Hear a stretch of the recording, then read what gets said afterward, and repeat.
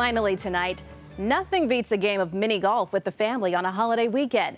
But we bet you've never played a course like the one John Lauritsen of CBS station WCCO found in Minnesota.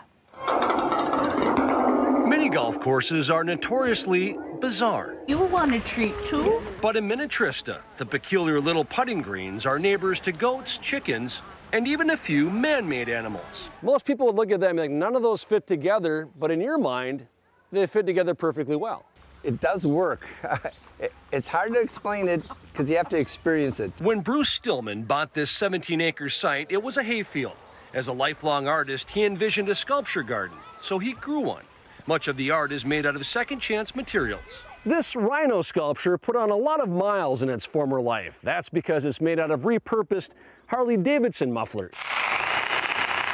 There's even an artist in residence from Russia who makes sculptures out of old tires. Well, here's our Tyrannosaurus rex. The dinosaur shares its territory with Bigfoot, a woolly mammoth, and even a fish monster. And just feet away, golfers try to play through their own odd obstacles. I think it was the second one where you had to go up and around, and it was a loop-de-loop. Four. Y'all outdrove me. There you go.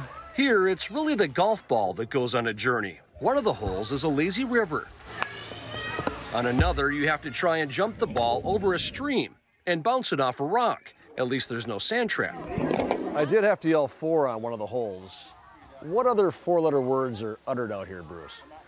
Uh, fun, hole in one. Hole in one. fun is three letters. Those three letters are all it really takes to describe this experience. What was your reaction when it went in in one shot? What did you do? I kind of just went crazy. People just enjoy themselves here, and that's that's the, the important part. For CBS News, I'm John Lauritsen. That's going in.